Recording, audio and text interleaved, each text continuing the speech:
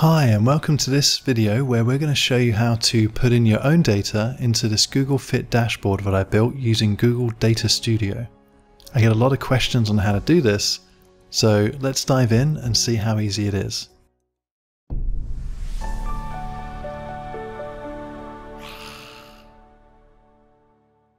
So inside of Google Data Studio, you're going to have a report, which we just saw. But fueling those are data sources. And in the case of this Google Fit dashboard, there are three of them for activity, steps, and weight data.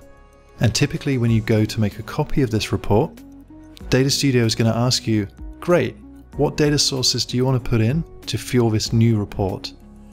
Now you won't have these data sources yet, and that's what we're going to focus on making right now.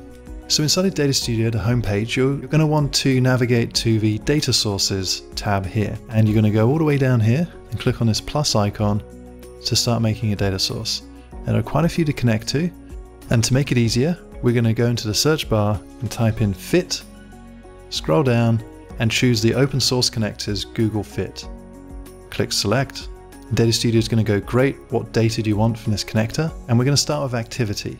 Make sure you're logged into Data Studio with your Google account, which is linked to your Google Fit data, otherwise this is not going to work. Once you've done that, we click on Connect.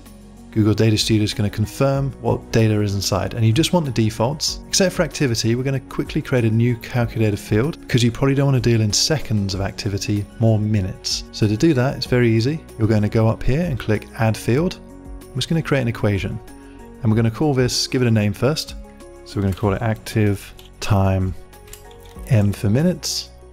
And now we're just going to sum up, don't click on that to expand the brackets. We're going to sum active time divided by 60, 60 seconds in a minute. It's that easy, we've created it. We're going to click save. And now we've connected your data source. But before we move on, you don't want three data sources with all the same name because it's going to get confusing. So just rename it here, just add a hyphen, and then just add in activity, and then your name. Okay, now we've made a new data source. We're going to do the same thing for steps and weight, and I'll speed through that. But you'll click back here, data sources, plus, you get the idea, and now you don't need to add those that calculated field because there's no time data in that. Okay, great, now you have your three data sources ready to go in you're all ready to swap in my data with your data to create your own report.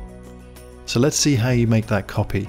And it's super easy. Essentially, you go to the dashboard, you go up here and click on this little icon which says make a copy of this report. And this is where you're going to get prompted. Now there's actually four data sources, but don't worry about this Sheets one. Just keep that as is. It just fuels a few of the icons. You care about these three. And now you click on new data source and because you put your name in, super easy to find.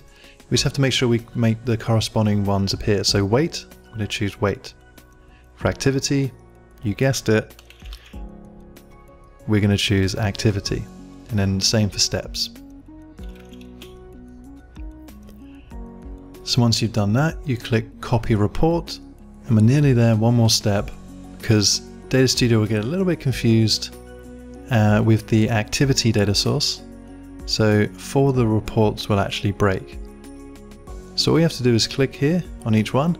It'll say invalid metric. Just drag, click and drag and replace. And just do that for all four of the invalid metrics. And you will start to see all of the data will now come in exactly as you need. This is also edit mode, which you may not be familiar with, where you have all the other options, but once you've swapped out the invalid metric for the right one, you now have exactly what you need. You can click view and your data will now be inside the dashboard. It's your copy, you can bookmark it, put it on your phone, check it out when you're running, and that's it. You now have your data inside this dashboard, so you can keep track of how you're going with your activity, weight, and number of steps. One final small tip is a new feature in Data Studio allows you to schedule an email to send to yourself. I actually have this set up every week. So essentially, you just choose your date and maybe you want it every Saturday and you can set the cadence. So I'm going to say every week, choose your time, and then hit schedule. And now you get a nice email with the link to prompt you and give you a summary of how you're going every week. Super simple.